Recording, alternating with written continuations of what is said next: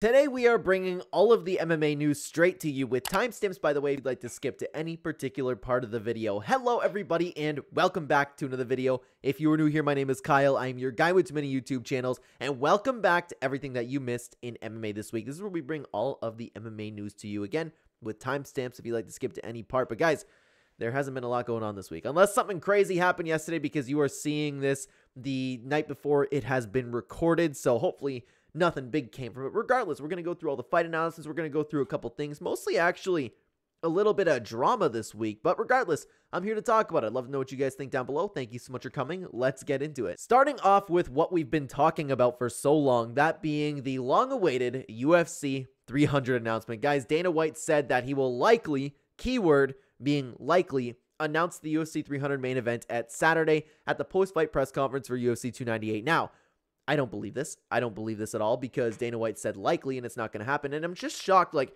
why wouldn't he just announce like Dana White likes to have the Instagram live, right? Where it's like, hey, what's up, everybody? Dana White here. We've got another banger coming at you right now. So it, the fact that he's just going to be sitting at a press conference, hey, Dana, what about that UFC 300 announcement?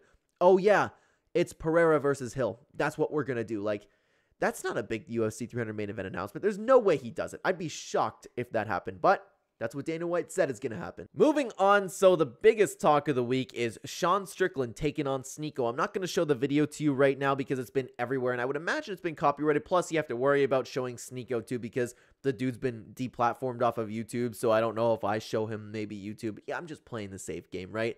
Regardless, you've probably seen the video. Sean Strickland came in, and he invited Sneako, or Sneako wanted to spar him. Regardless, Sean Strickland invited him to the gym, and Sean Strickland decided to just absolutely tear him apart. Of course, it wasn't going to be a fight, right? They were boxing. Sneako's guys were thrown in the towel. Sean didn't care. He kept whale on him. And that's been pretty much, honestly, the talk of the week because everybody's been saying either, oh, Sean went too hard on him, or hey, Sneako's actually tougher than we thought, or it's nobody cares about it, right? Or you can say, like, oh, well, it's two guys that wanted to fight. Who cares? What happened, right? But this actually led to more things like Brendan Schaub, Nina Drama got into some drama, Nina Drama getting into some drama.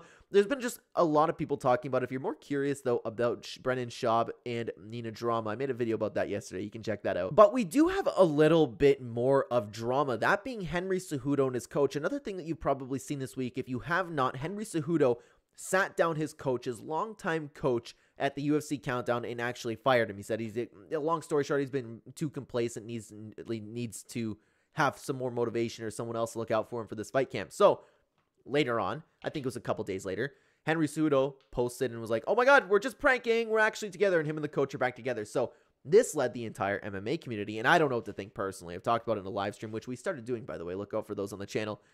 I don't know what to think because, and one thing I could very well see it being Henry Cejudo just wanting attention, but I can also see him going like way back on his word because everybody is all the fighters, all the fans are like, wow, that guy brought you up from nothing and was with you every single step of the way, brought you to a to a two division champion, and you're just gonna fire him like that. Maybe he's just going back on his words because everybody was calling him a piece of crap.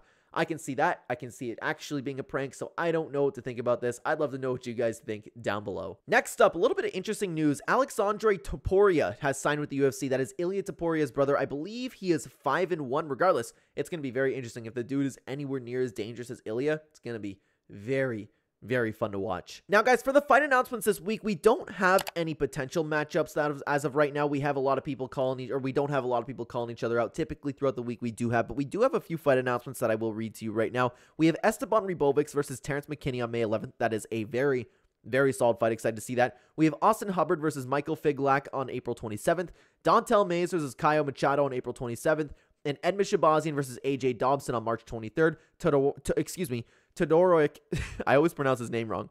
Todorovic is out. I always mispronounce that dude's name. Anyways, we have James Llontop versus Gabe Green on April 27th. Lando Vannata is out of that fight. So not nothing too too crazy. I like watching. Uh, I mean, not Don'Tale Mayes for sure, but I like watching Edmen and I've been following his career. Terrence McKinney's always fun too. So we have a couple fight announcements there that's been pretty okay. But with that being said, guys, aside from anything crazy that must have happened last night, that is all of the MMA news that we have for you right now. Thank you so much for watching. Check out this video, which is a early UFC 299 card breakdown. I would love to talk about. I'd love to know what your thoughts on the card there. Thank you so much for coming, guys. Take care.